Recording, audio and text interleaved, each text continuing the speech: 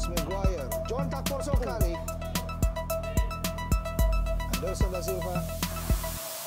Ano Maruf, umpan crossing ke dalam kotak penalti. Mudah saja untuk Ferry Rotinsulu.